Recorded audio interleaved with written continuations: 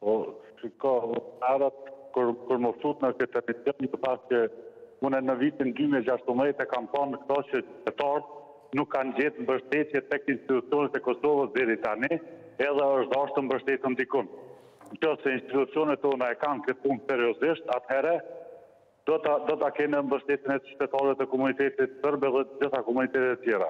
Në qoftë se nuk i lanë vetëm, e vetëm nuk i lenë qoftë se investon në në në atje. Në qoftë se institucionet tona dhe ministritë tona do të investojnë në në në në pjesën veriore të Kosovës dhe dhe të krijojnë kushte për secilin qytetar të të të ketë një jetë normale dhe të mos ndihet i kërcënum. për për lirimin e punës nëse nuk del në protestë ose nuk merr pjesë në ndonjë aktivitet të ndonjë grupi kriminal, atëherë atëherë do ta konstatojmë që jemi të lirë.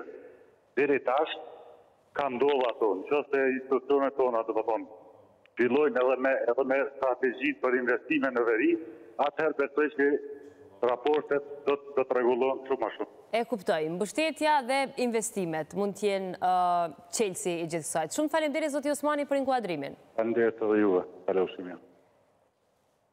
Konsideroni dhe juve, zoti Hoxha, që ky është çelësi, investimet, mbështetja e qytetarëve atje, që të zbehet edhe ndikimi i Listës Serbe, sepse çështja është këtyre ditve nuk ka alarm të sirenave në pjesën veriore të Republikës. Nuk ka barikada, nuk ka grumbullim të serbëve atje që kundërshtojnë, sikurse ka ndodhë në të kaluarën në çdo operacion të Policisë së Kosovës. Ky është fillimisht lajmi pozitiv në